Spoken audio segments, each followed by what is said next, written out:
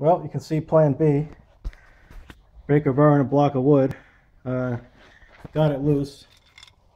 I think I tightened it with this impact, so I, I guess I was a little surprised. I know it's not very powerful at all. Anyway, this should buzz right off. Uh, yeah. That's better. Yeah.